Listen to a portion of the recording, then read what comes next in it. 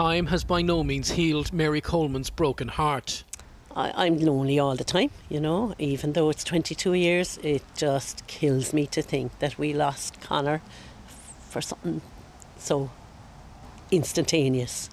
September 2001, 15 year old Conor Coleman and his friends, twins Cian and Gavin O'Sullivan, also 15, were passengers when a car being driven by their friend, 22 year old Paula Donovan, crashed into another car on the outskirts of Cork.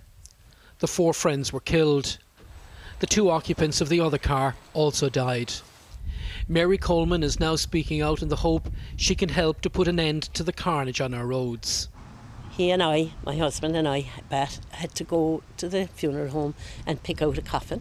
I never thought I'd ever see the day that I'd have to pick out, pick out a coffin for one of my children.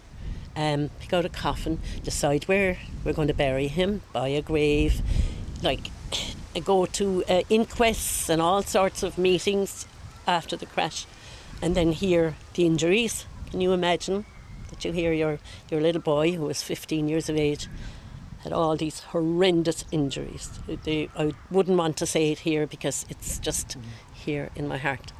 Um, I did get his belongings back from the hospital, whereas some people said, "Oh God, don't do that." You know, but I, I had precious moments with his jumper and the smell of him. You know, I mean, something so simple.